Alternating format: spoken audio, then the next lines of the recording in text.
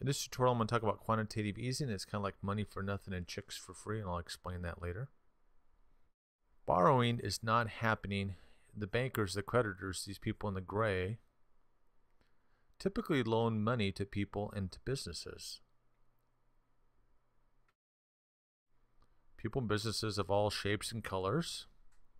So right now, loans are not happening.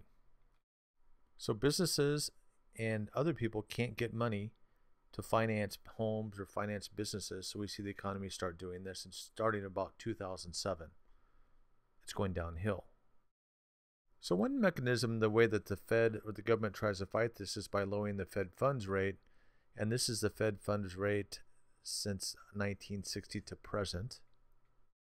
And at the present time, it's at a historical low. So if I zoom in on that little orange circle, from about October 2008 to January 2011 now, the Fed fund rate has been about 0.2%.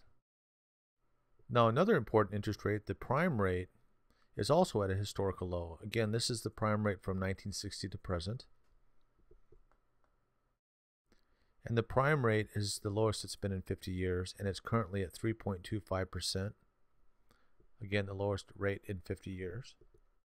All these low interest rates are not positively impacting the economy, so Bernanke continues to see the economy do this, go down.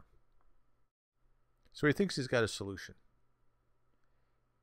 What the government needs to do is inject large amounts of money into the economy, kind of like taking heroin or a drug.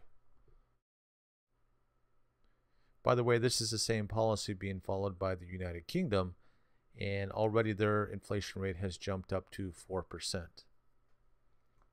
So the reason for the injection, Bernanke's thinking that ain't working. We need some money for nothing and our chicks for free. Reminds me of a Dire Straits song from the 70s. Now I'm going to discuss mechanically how this actually works. One way it works. Banks hold mortgages and families live in these houses with a mortgage. The problem is they went toxic. A lot of mortgages went toxic and banks took over homes. The problem with these toxic mortgages, banks don't have money. But the government has money, right? So then all of a sudden the government decides to trade these toxic mortgages for cash or for money. So the government took over these bad mortgages. Now the first question has to be this.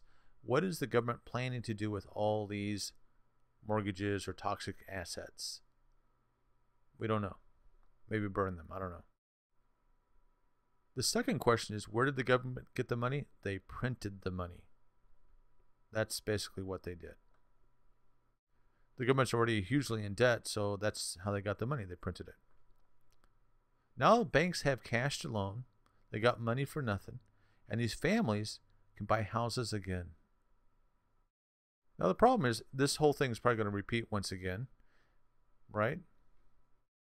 When bankers and creditors start loaning people money again, hopefully the economy will get back on track. At least that's what the theory is. One thing we know for sure this whole policy is going to increase debt, right? And there's going to be some new bubble. This will cause another bubble, another debt bubble of some sort. It has to. Another theory dating back to David Hume and going all the way to Milton Friedman, so about 200 years of economics, suggests we will have inflation. I should probably add Hayek in here as well. He's probably thinking, what are you guys doing?